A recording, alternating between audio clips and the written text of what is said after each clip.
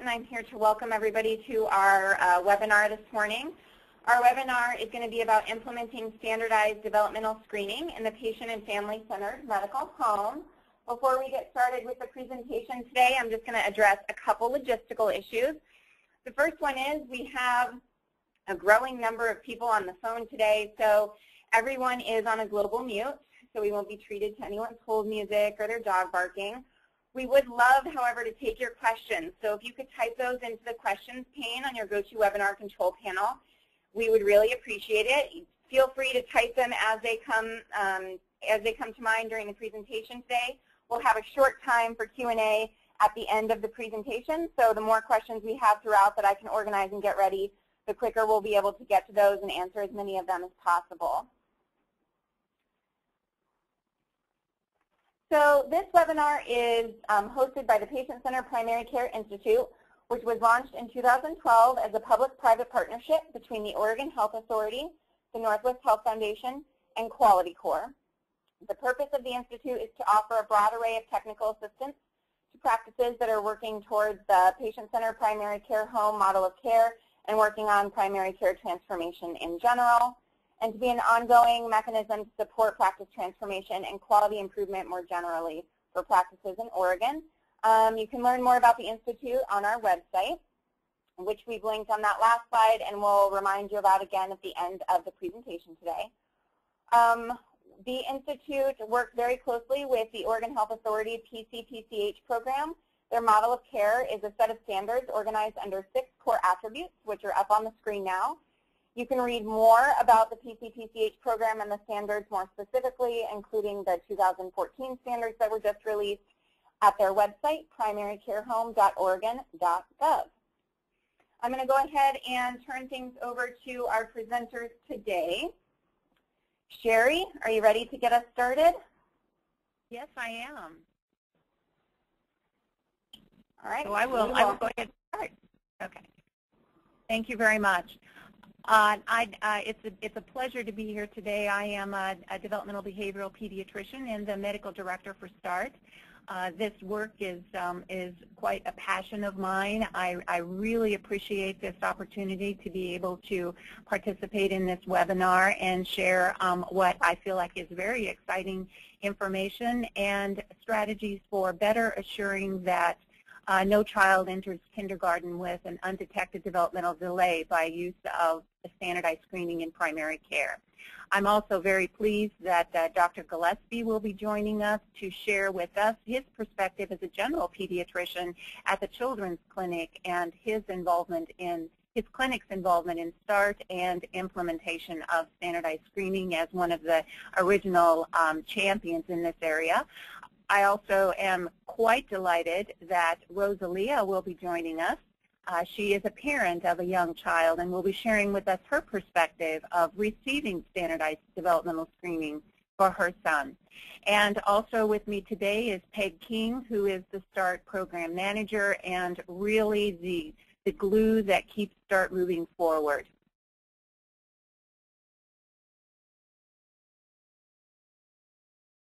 All right, so I'm trying to advance my slides and it's not doing it. Let's see, what can I do? Just go ahead and try and click again and you should be in business. Give it a second sometimes there's a short delay. Okay, I haven't, I've clicked it what probably way too many times and, and it's not advancing. I click. Try clicking directly on the slide and we'll try one more time. If not, we'll take over. But Okay, I, I will click on the side. Okay, I will do that. Thank you very much. Okay, yes, so this, all right, thank you. Uh, START is a project of the Oregon Pediatric Society, uh, which is the Oregon chapter of the American Academy of Pediatrics. We are very um, delighted that we have sponsorship from the Ford Family Foundation, from the Kelly Foundation, uh, Project Launch, and Oregon Health Authority. And we work in collaboration with many statewide partners as well. So the goals and objectives today are to give an overview of standardized developmental screening in pediatric practices as recommended by the American Academy of Pediatrics uh, and as uh, metrics for um, uh, primary care home, medical home, and uh, CCOs. It's also to improve the provider understanding, utilization, and implementation of the ages and stages uh, screening tool, which is a standardized developmental screening tool.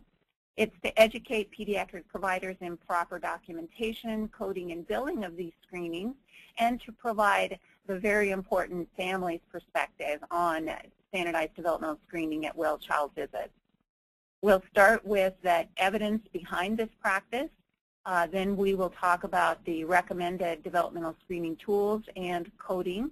Uh, then I will hand the mic over to Rosalia, who will talk about her perspective as a parent, and then we will have Dr. Gillespie talk about his experience implementing standardized screening in his practice.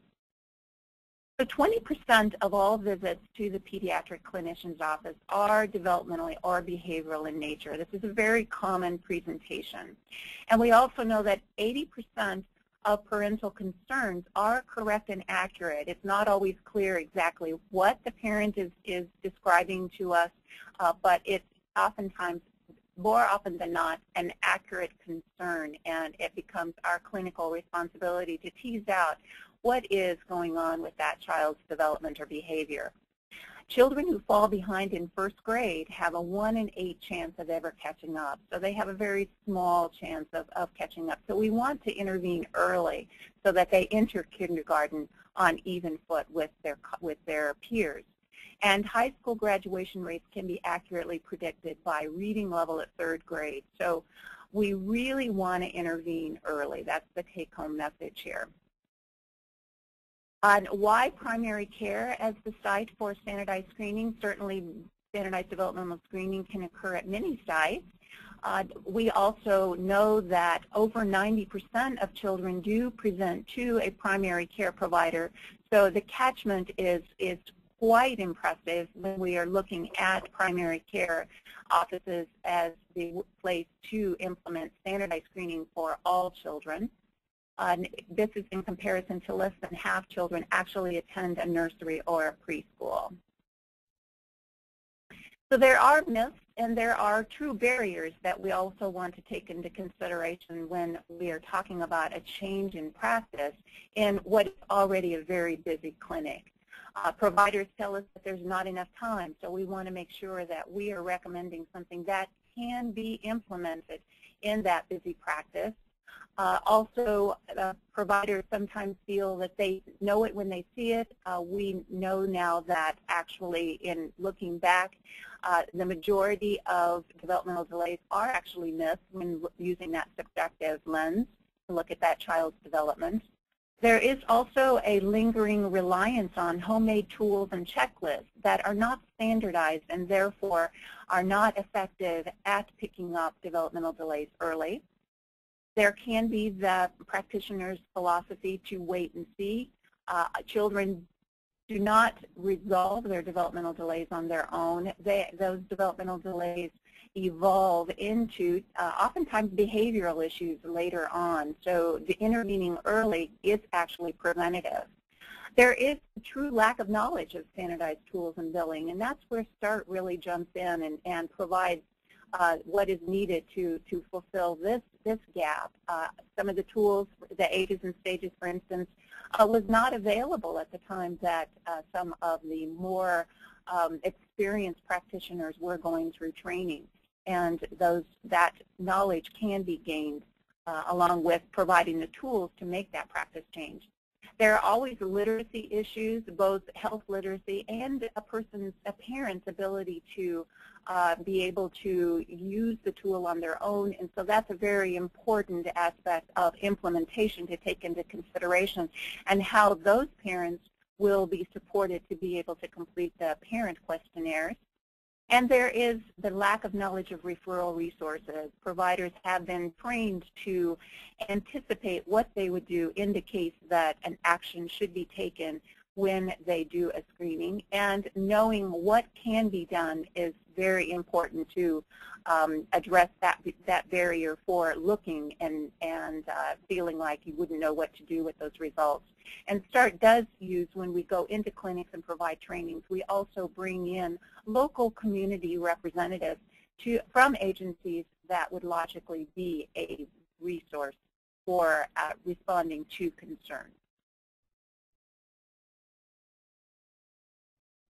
So developmental screening is very important in the overall care of our families. Uh, it, it does result in uh, higher family satisfaction, that their concerns have been addressed and their child's development has been uh, looked at and assessed.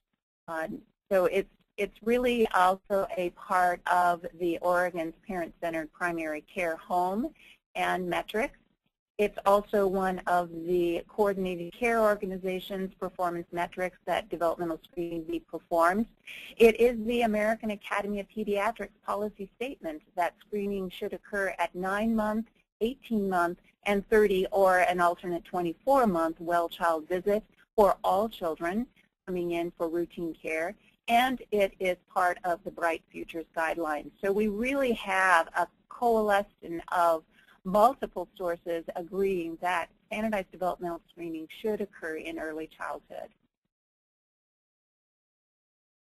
When we look at the implementation of, of standardized screening as opposed to using that, that uh, previous checklist, has not been standardized, we see that we also uh, are seeing an increase in referrals. So we are seeing increased uh, involvement of other agencies to assess that child's development and uh, intervene and provide interventions early to address the child's developmental delays.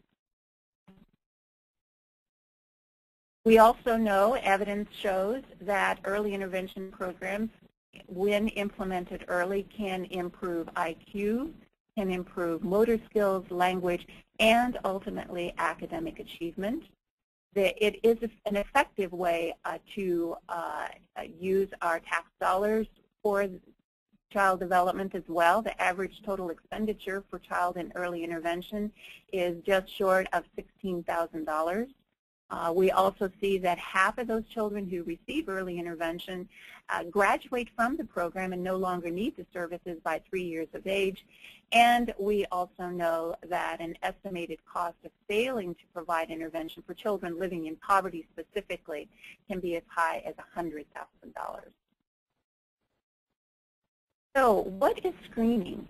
And how does screening fit within the context of surveillance and diagnosis?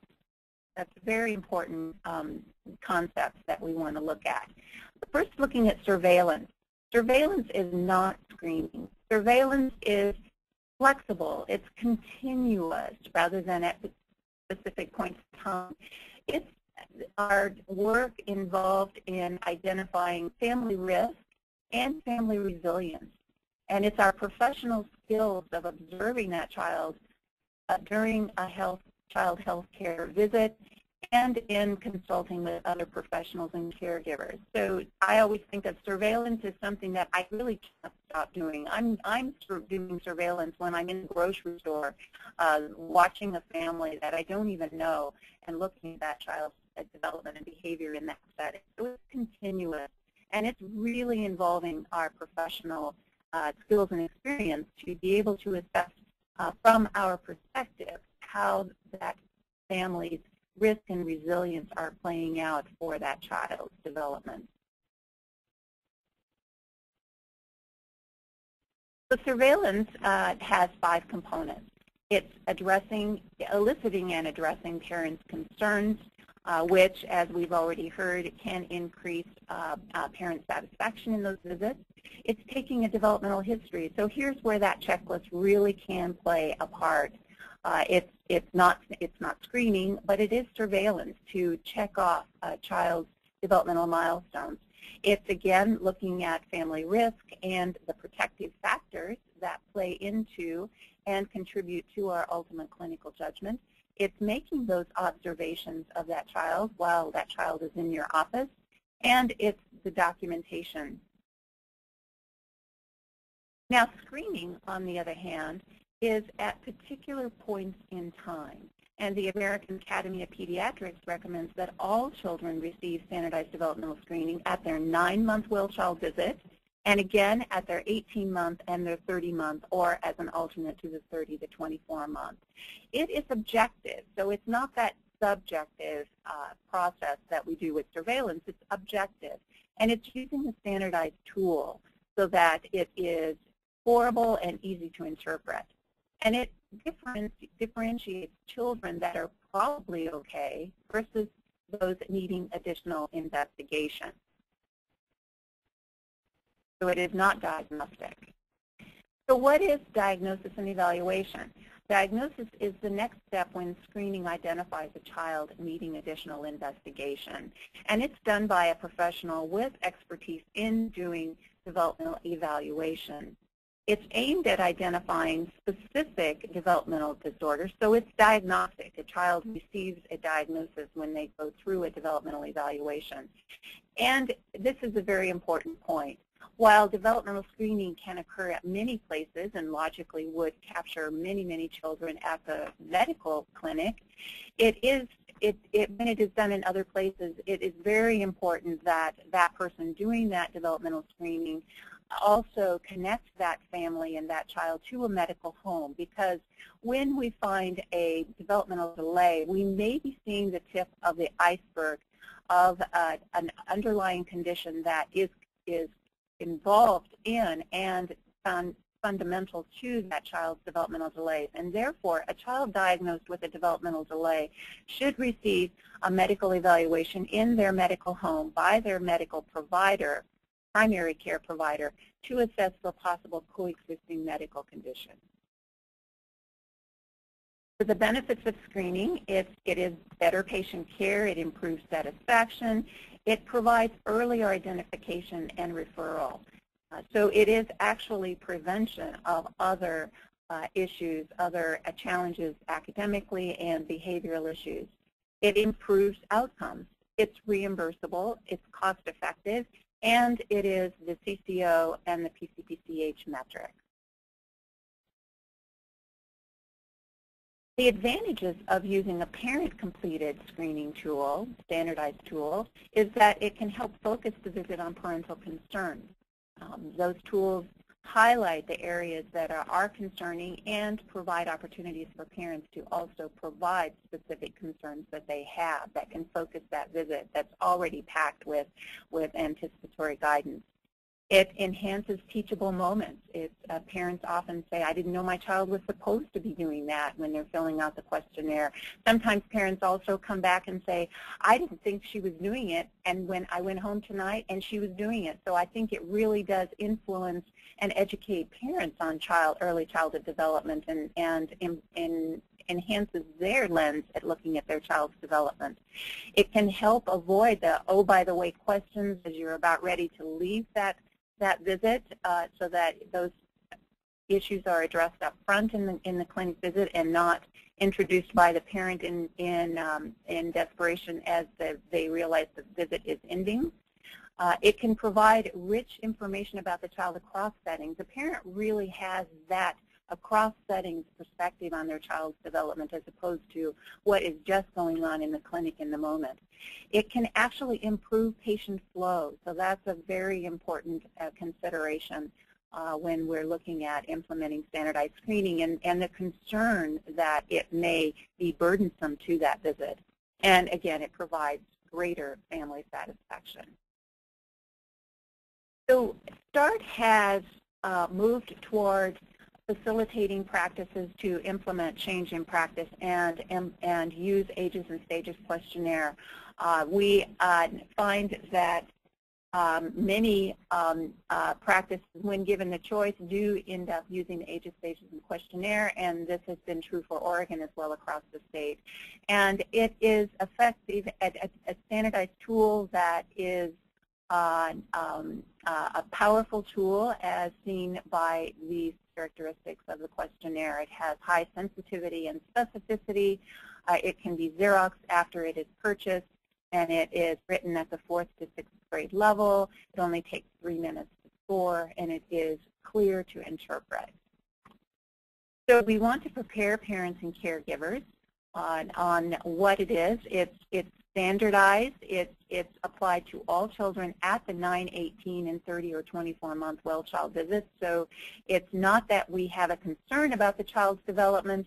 It's that we, this is the standard of practice for all children, and this is, should be normalized for parents. Just as you take the weight, always, not just when you have a concern about the child's weight, we do standardized developmental screening for all children at those visits. Here's an example of a couple of questions from the nine-month questionnaire. Uh, and you see that it's very easy to respond to, yes, sometimes or not at all, and it's very easy to score, uh, yes gets 10, sometimes gets 5, and not at all, uh, not yet gets a 0.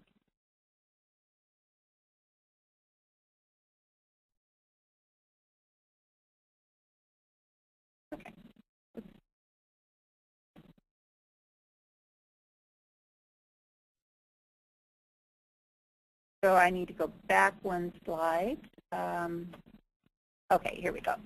So uh, here is the scoring sheet. And so those scores, as they're tallied for each domain, and the ages and stages questionnaire has five domains there listed in the first column. Uh, then the bubbles are, are, colored in, and you see here that if it's in the white, it's uh, not concern at this time, or the child's, uh, the child's development does appear to be on track. If it's in the gray zone, it means that it's 1.5 standard deviations below the mean, and if it's in the black zone, it's two standard deviations below the mean. And these scores, along with clinical judgment, determine referral. If a child is, is in the black zone for one or more developmental domains, then a child probably should be referred for further assessment. We have a common referral form that at the time of referral to typically an early intervention program or a public school system for assessment or diagnostic evaluation, uh, this elicits at the same time a parent's uh, uh, uh signed consent, both HIPAA and FERPA, so that we can assure that that communication loop is robust between the primary care practice making the referral, the parents, and the uh, organization that's doing the um, developmental assessment so that the communication could go back to the provider. Coding and documentation is also very important. The, the code 96110 is multi-purpose.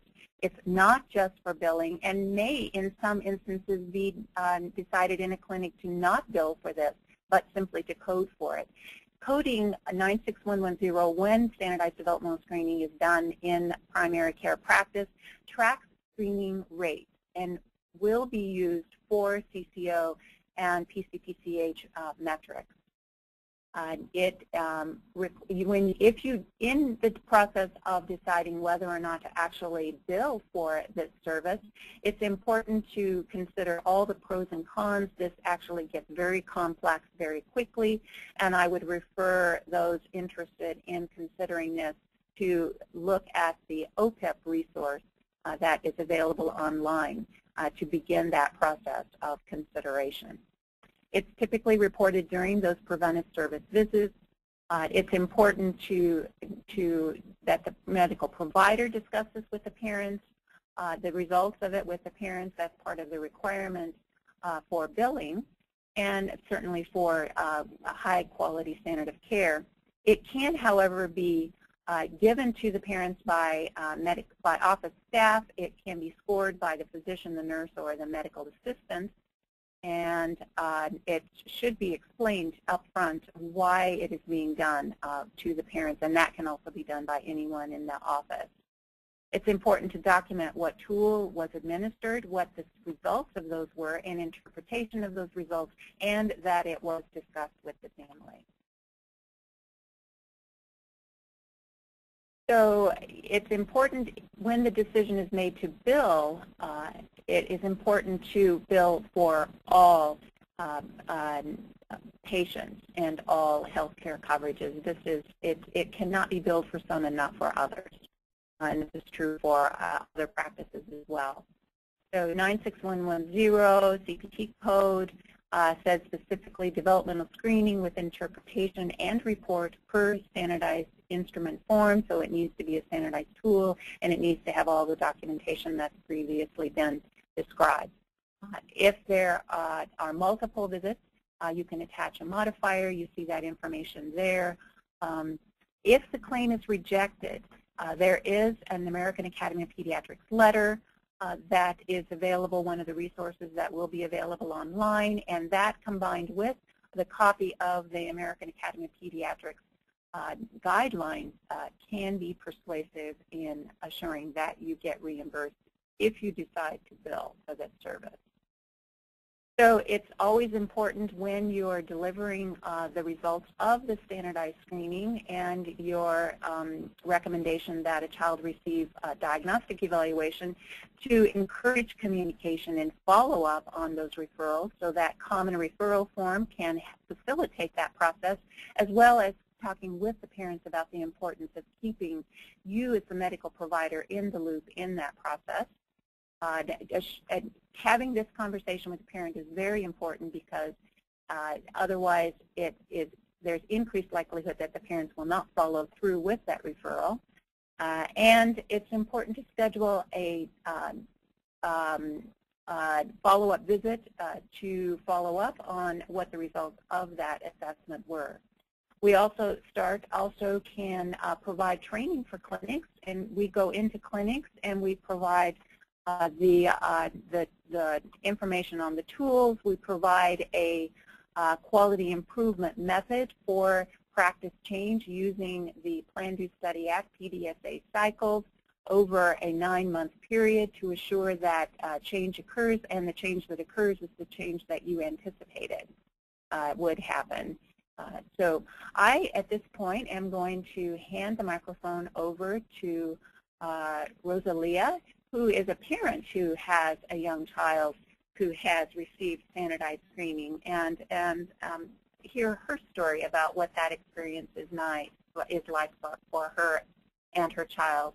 So Rosalia, thank you very much for coming here today.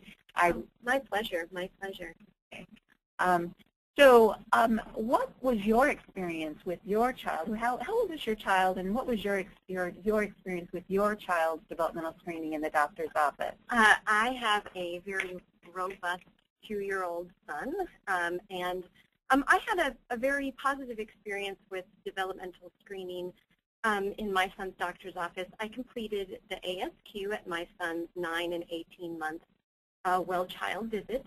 Um, and at the nine-month visit, um, the, my son's provider reviewed the tool prior to coming into the room, and so then she delivered the results um, during the visit. And um, we didn't talk comprehensively about the tool, um, but in the 18-month visit, however, I found the ASQ incredibly helpful because uh, my son had um, not yet met several milestones um, in the area of communication. And I was able to point to specific items in the tool and say, do you see this? I'm, uh, he's, he's behind in this area. And I really found it as a very positive um, tool to be able to validate my concerns and, and also better articulate the areas that um, I felt he was a little behind in. Um, ultimately, my son's score didn't result in one that was overly alarming, so the provider uh, really just suggested a, a watch and wait uh, approach. So I, am hearing that um, that you were very involved in the process, and, and you kind of used the questionnaire as as your sounding board for. I, I did, especially in that 18-month um, visit. Um, uh, yeah, great, great. That's that's wonderful. And so, what feedback do you have for doctors? Um, well, I think the first area of feedback I had is um, I had the benefit of being uh, aware of what the ASQ was, but uh, some supplemental information when I received it at the doctor's office would have been helpful to tell me what it was that I was filling out and why and how long it was going to take. Uh, I was just handed the screener and said, oh, please fill this out. And um, I actually watched other parents in the waiting room kind of look at it a little confused about what it also was that they were filling out. And so th that information would have been uh, really helpful. Um, another area of feedback would be um, to take the time to talk about the tool and the various domains in the tool with the parent, even if uh, a child has a typical development. I think that it can be used as a really wonderful teaching opportunity to go through the tool uh, and talk about uh, a, their, a child's development with the parent. Um, and then the, the other area is uh, just saying watch and wait is sometimes very alarming to a parent. Um, or come back in three months. I mean, that three months can really seem like a, eternity to, to us when we spend, you know, every moment with our child, and we're so overly concerned about, you know, how they are in terms of their development and behavior. Um, and so giving us um, an activity, or I know the ASQ comes with several of activity resource sheets would have been really helpful. It helps actually to empower us as parents to uh, monitor our child's development. It kind of puts it back in our hands. Um, and then the, the, my last area of feedback, I know I have a lot of feedback, would be um, it, it just an administrative component. Um, you know, asking us to come 15 minutes early sometimes isn't enough time to fill out uh, the tool. It, the tool is is long. It takes it, the questions take a lot of thoughtfulness or time with our kids. Sometimes we have more than one child at the visit.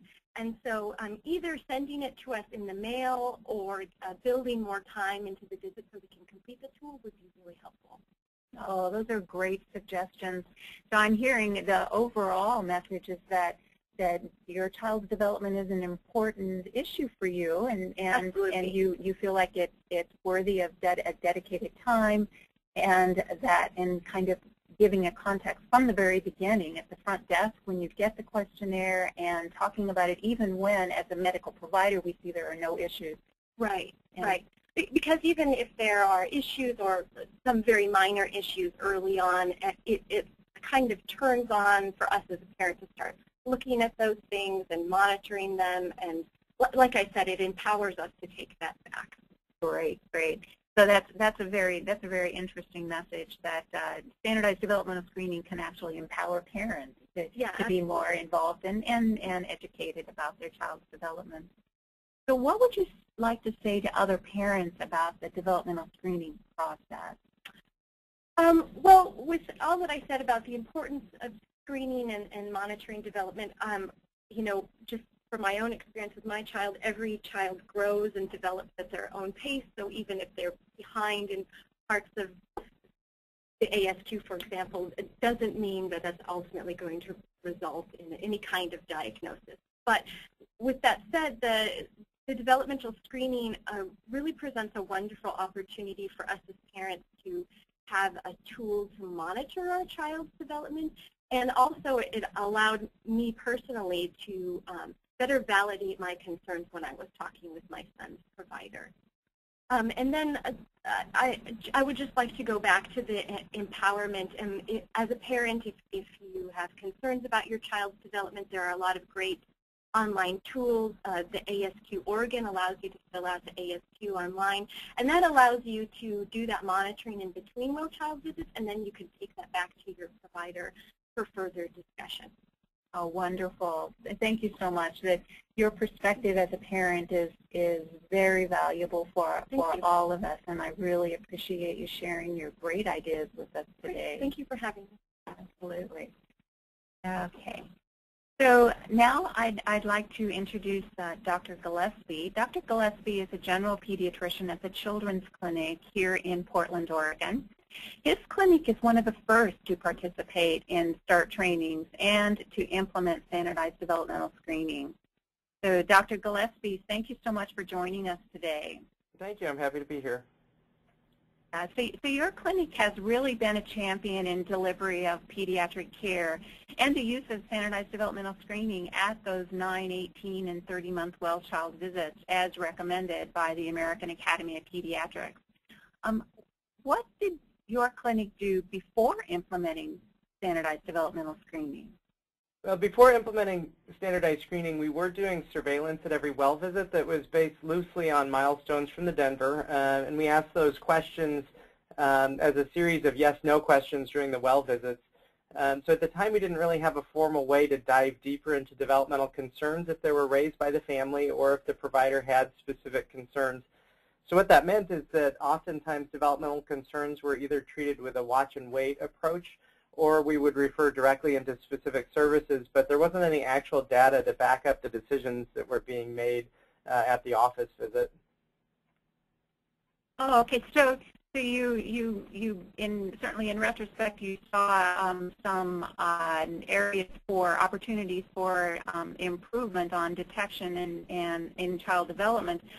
But why did you want to make a change? That's a big decision. And, and did everyone agree, or were there were some in who were reluctant? And how, if so, did you manage that? Uh, I think after reading the guidelines from the AAP, it was pretty clear that we were missing some opportunities to identify children with developmental delays, particularly the more subtle delays. Um, we weren't asking parents specifically if they had questions uh, about their child's development other than the general, what questions do you have prompt at the beginning of the visit. And so our developmental surveillance wasn't really specific enough to accurately identify kids who needed services. And at the time, we weren't really utilizing a lot of the community-based services um, or resources like early intervention very consistently. I, I think um, that everybody in the practice was aware of the guidelines, and so no one in the practice was really resistant to the idea of doing developmental screening per se, but a lot of the providers had a hard time thinking about how to actually make screening happen in their daily practice. And I think that was the piece that was really missing from the AAP guidelines we all understood from reading the guidelines the why question in terms of why you need to do developmental screening, but not the how question in terms of how to actually make that work in a daily practice. You, yeah, you bring up a very good point, and that is, you know, we have all of this knowledge in our heads, and how we actually translate that into change in practice, or practice and change in practice is, is another um, uh, facet of, of the work that we do. So what barriers did you anticipate before beginning change, and how did you address those? Well, I think the workflow was really the big issue and concerns about how much time that was going to take in a visit. Um, you know, in primary care practice, we're on a very rapid pace. We're seeing patient after patient after patient. We didn't want to implement something that was going to um, significantly disrupt our, our, our workflow. And I think that, that when we developed the START curriculum and training, that was a major goal of the program to really break down the components of the workflow into manageable pieces to aid in the uptake of developmental screening. I think one of the, the most important key factors in our practice, though, was, was really addressing the workflow issue by having one or two providers who are willing to champion the process, have them try it out for a few weeks, and work out the kinks in the system before the rest of the practice jumped on board. So before we trained the entire practice in developmental screening, I actually started screening a few months ahead of time so that I could actually accurately describe what it was like. It turned out it didn't take that much time at all, but I think having um, that sort of peer-to-peer, -peer, this is what the process actually feels like and how the, the, the flow of the visit actually goes was, was very important in terms of, of sort of overcoming some of the, um, the, the barriers to, to implementing screening. Good points. I'm hearing you uh, say that you approached it in small steps and, and learning from those steps uh, as you began to broaden uh, the implementation. So what was START's role in the process? Well, we decided that if we were going to do developmental screening, that we were going to go by the books in terms of doing all the recommended ages. Um, we had some conversation um, in the in the practice uh, about whether we start just at one age, like the nine-month visit, which would again go back into the um, the small tests of change, um, but then to, and then adding on other ages later. But we decided that if we could work out the workflow problems on one visit, then the other visits were going were going to be the same. So once you figure out the workflow, you figured it out for, for all the ages. Um, so when we did all um, we did all three recommended age visits, um, so the 9, 18, and 24 months at the same time. Um, at the time, we weren't getting reimbursed for 30-month visits, so we did the screening at the 24 months instead, but now we are getting reimbursed for 30-month visits, so we've swapped that out so that we're doing the, uh, the screening at the 30-month visit instead. Um, and we also implemented screening for autism at the same time, so we bit off a pretty big chunk of practice change all at once. Um, so we used one of our existing journal club meeting times to conduct the START training. Um, and I think that, that what START brought to that, you know, obviously is one of the original trainers of START, I wanted to make sure that I could sell this kind of screening to my practice. Um, and, and, the important parts that START brought were, number one, breaking down the workflow into, into manageable chunks. This is how you actually think through a workflow change. But also I think the providers really appreciated the chance to meet the community resources and to spend time thinking about how the workflow would map out in our practice.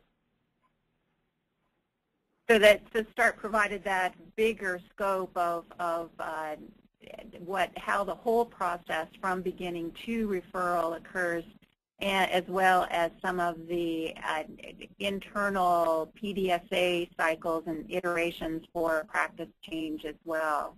Absolutely, and really the, the, the map the workflow section of the START training, really it, it, it does, it, it takes you through step by step what happens when a, when a parent walks into the office, how does the screen get put in their hands, who collects it, who scores it, how does it get into the hands of the provider, how do you remember to talk about it in the visit, all those little nuts and bolts kind of issues. You know, who's responsible for making sure there are copies of the screen available when people check in.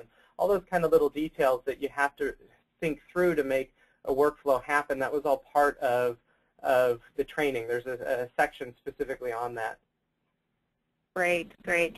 And I'm hearing some overlap with uh, Rosalia's perspective as a parent and, and being a consumer of that process. Uh, it's, it, this, is, this is very interesting to hear different, two different perspectives. So in retrospect, what was most challenging in the process of changing how your clinic monitored your patient's development, and how did you overcome those? Um, I think that the thing that I wish I'd done differently um, is um, following up with the providers about how screening was going and whether the screens were easy for them to implement and what challenges they were having as we went along. Um, at, at, the time um, that we did the START training, um, START wasn't connected with maintenance of certification, but once that was added in, the clinic started doing chart reviews for the maintenance of certification credits and then once we shared those results with the providers, we started having a lot more conversations about how the pr process was actually going. Um, and, and, one of the things that, that I, I heard consistently from some of the providers, and it was originally they framed it as a complaint, and I ended up sort of framing it more as a strength, but they, they complained that they felt like they're having longer conversations about development than they would have had without the screening tool. Um, and I think that that was um, again, a reframing thing that I, I talked to them about how important that conversation really was for a child's long-term health trajectory. And that one of the misperceptions about developmental screening tools is that if the results are normal, your conversation about development is done. Um, but I think that the, the ASQ and the other developmental screening tools are really meant to be a springboard into conversations about normal development, about opportunities to promote the child's development, and also to address the parent concerns about their child's development. Uh, and now we've been screening for well over five years, and there isn't a provider in the practice that would go back at this point because I think everybody's really seeing the value in what we're doing. And we started hearing back from patients about how much they valued the, the process as well, and I think that really reinforced um, those initial challenges that we were having. Well, it's exciting to hear how how how similar your in, insight into this process is with Rosalia as a parent and, and completely different perspectives, but really focused on the same thing and, and the importance and value placed on early childhood development. That's, and the evidence behind it also supports that. Um, so where are you today in regard to screening? Uh, we've actually implemented a lot of other screening tools since then, and I think that START training in terms of really breaking down the workflow was the first step into uh, into being able to do some other screenings. I, I think one of the the big challenges of medical home is kind of getting out of your health-centric model of, of care delivery and getting a lot more into sort of the family dynamic and the family structure. And so some of the things that we've implemented since then are screening tools for postpartum depression. Um, we use screening tools for adolescent substance abuse and adolescent depression.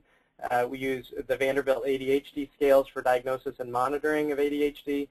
We've been doing um, screening for adverse childhood experiences and screening for special health care needs to help get um, a better idea of our population of children with special health care needs to do population management um, for, for those patients that do have more complicated health needs.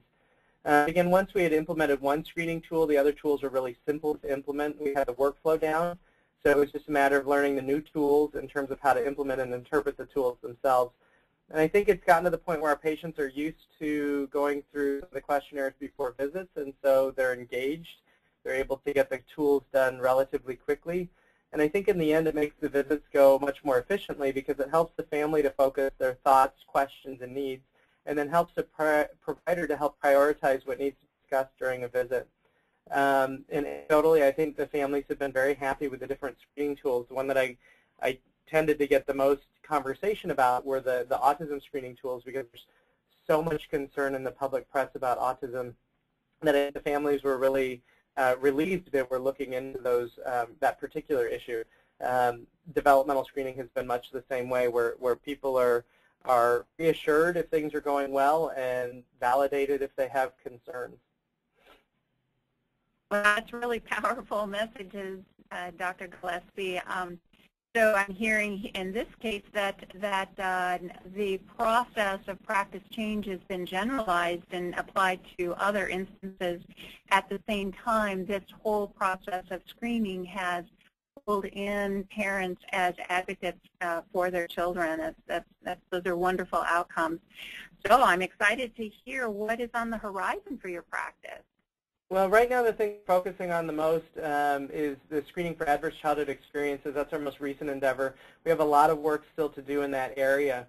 Um, right now what we're doing is screening parents for their own adverse childhood experiences so that we can understand which families might benefit from more focused counseling on parenting, discipline, appropriate developmental expectations for the children, and so forth. Um, it's a fairly untested process, so we're using what we learned in developmental screening workflows to decide how to best incorporate this process into our practice. And I think so far the families are responding well. Um, but part of that is after doing a lot of screening for developmental delays and maternal depressions, I think, again, our families are more aware that we're, we as providers are really in it to help families get what they need. And so I think they're, they feel less threatened by what otherwise might seem like fairly personal questions. Um, and so that's really where we're headed is diving again deeper into the family dynamics to help understand um, uh, the, the factors that might influence a child's development. I think that, that um, it, it's fairly obvious, but still is an aha moment when you realize that children don't develop in a vacuum and that without a stable, functioning family, their development and health can't, um, can't progress in a normal way. And so getting into those family dynamics is really where we're focusing a lot of our effort. Wow. Once again, it's your, you, uh, you and your clinic are such champions and trailblazers in this process. Uh, and, and, and this process has not only uh, resulted in practice change, but has also brought in uh, parents uh, increased trust and understanding of, of uh, how this all plays out to positively contribute to their child's optimal development. Thank you so much, Dr. Gillespie, for joining us today. This, your perspective and, and Children's Clinic is is uh, is very helpful in understanding what this what this means and, and how this can improve um, uh, outcomes for children. Absolutely, happy to participate.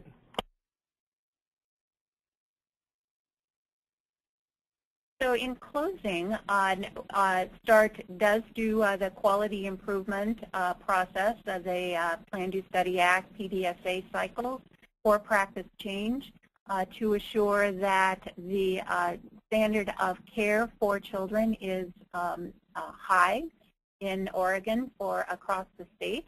Uh, we also have training specific, in addition to the basic developmental screening in the areas of autism, postpartum depression, as Dr. Gillespie had mentioned, uh, social emotional development, adolescent depression, and there are more on the horizon. When a clinic participates in the training, they do receive continuing medical education, and pediatricians can uh, receive their maintenance of certification, Part 4, for uh, their um, uh, board certification as well. Uh, if there are any questions uh, regarding uh, participation in START, uh, they can refer to Peg King, whose contact information is below. So thank you very much. I um, am quite excited uh, to be here today and, and very pleased uh, to have had Rosalia and Dr. Gillespie in this process of laying out the importance of standardized developmental screening, and um, practice change in primary care. Great, thank you so much. This is this is Kate again. So just want to encourage people to type type away and provide us with your questions. Um, we did have one question come in already, and that was, did Dr. Gillespie find that implementation of both the ASQ and MCHAT created too much at once? Can you use the MCHAT as an escalation tool rather than giving parents both at one time? You know, we we've considered that, and and you know, the it, the doing both at the same time does make the 18-month visit a little bit heavy. But um, adding the 30-month visit um, did help us with that because then we do the the second um, MCHAT at the 24-month visit, and then the the 30-month ASQ ends up being separated out. Um, you know, there's there's been some some research looking into whether you need to do both, and so far the research isn't saying that the ASQ can definitely detect autism, but I have not yet seen a child who had an abnormal MCHAT and a normal ASQ. Um, they're kind of both abnormal at the same time. Um, but to get to the um, the question about time, um, we've just sort of gritted our teeth and, and dealt with it. Um, so the 18-month visit does end up being a little bit heavier, uh, but we also have timed our vaccine so that we don't do shots at the 18-month visit so that we can really spend the visit just focusing on the developmental stuff. And so that helps with the time issue because we've taken off the pressure of, of, of having to talk about vaccines at that visit. So we have our kids doing their, their shots at the 15-month visit to kind of accommodate that. And we've done a similar thing with a nine-month visit where, you know, unless it's flu season, you really don't have any shots at the nine-month visit either so that we can really focus those two visits on the developmental questionnaires and on the MCHAT. So overall, it hasn't been a big issue. Um, it's a little bit of an issue. All right, thanks. And then um, was there anyone else that, I don't know if Dr. Alderman, if you had any other thoughts on that one before we move on to the next question?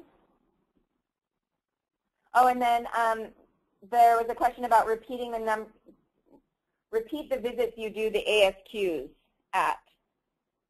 So Which right now we're doing them at 9, 18, and 30 months. Uh, because with um, uh, with the health reform changes, we're now getting reimbursed for a 30-month visit, so we, we do the questionnaire at the, at the 30 month.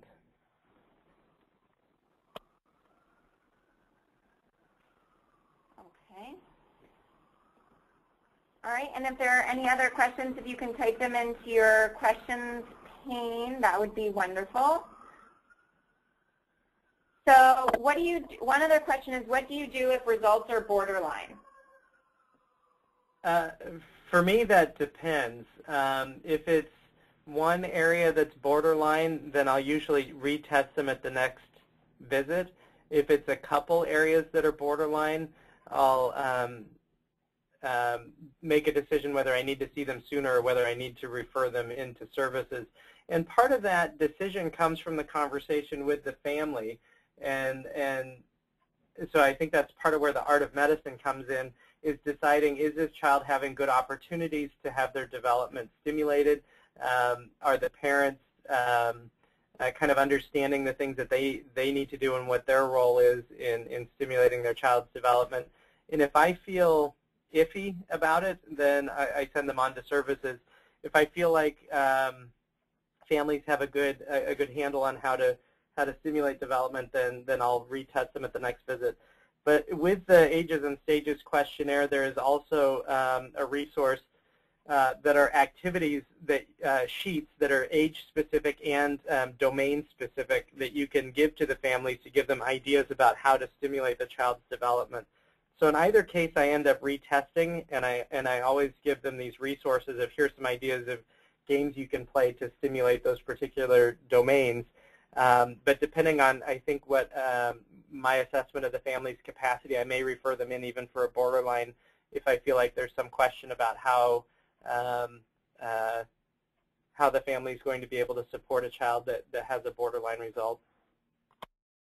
And if I could add to that, um, on it's the standardized developmental screening is not intended to replace clinical judgment. I don't think anyone believes that, but it really does facilitate uh, clinical judgment. If a child scores uh, concerning and needing a referral, and that parent is not yet ready to take that next step, keeping that parent involved in, in conversation and engaged in the process, and as Dr. Gillespie says, following up sooner than the next routine visit to look again at that child's development can help walk that parent through the process um, and when they are not yet ready to jump on board with uh, developmental assessment. And that's also, as, as Dr. Gillespie alluded to, uh, a, a fine time to bring in all of those results of that surveillance that you've been gathering and the risk and resilience in that family as well in, in contributing to your clinical judgment. So in, in short, the results of the screening uh, do not dictate what you do. They help facilitate your clinical judgment, and you can uh, not immediately refer if the child scores concerning. You can refer if the child does not score concerning because your clinical judgment uh, indicates that a child should get a developmental assessment. Or you can uh, titrate that conversation with the family, keeping them engaged, and over time uh, bring them across that um, uh, from the standardized screening results to assessment. Great. So we have um, three more questions that came in. The first was, are you mailing the ASQ to parents or giving it at the visit? How do you address if the parent doesn't complete the form at the visit? Uh, we give ours out at the visit. Um, you know, the the response rate on mailed surveys is is pretty You probably get a third uh, in a good circumstance uh, of people doing it and and bringing it in with them. Uh, if if the tool is not completed at the time of the visit, that again is sort of a, a decision point for me.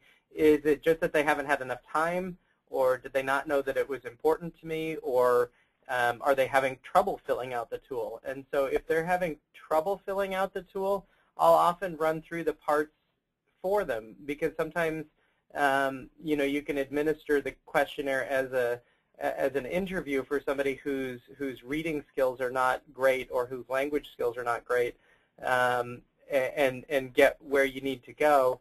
Um, otherwise, what I'll often do if the questionnaire is not filled out is uh, you know I'll do the rest of my exam and I'll I'll say I want to have a conversation about this screening tool. So why don't you take a few more minutes to fill it out, and I'll come back and I'll I'll go do something else for a few minutes and then come back in um, and talk about the screening tool. Um, it sort of depends on, on how fast your, your clinic flow is, whether you give parents enough time to, to fill out questionnaires. If you happen to be on time or early all the time, then they're not going to have as much opportunity. But typically what I'll do is give them a few more minutes and then um, loop back around once they finish the tool. Great. There was another question um, about whether you scan the completed form into the electronic medical record. Um, for our charting, I'm on Centricity, and, and we have actually built scoring forms into our um, uh, EMR so that we document the results, but not the entire tool gets scanned in. Um, however, um, as long as we're on the subject, usually when we refer somebody to early intervention, I do send the entire tool to early intervention along with the referral. But we've actually built specific um, uh, scoring uh, templates into our electronic medical record.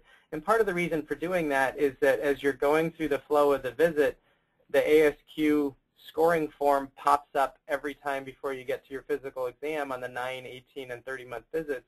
And so it serves as a decision, uh, decision support to remind the providers that this is an age that it's supposed to be done.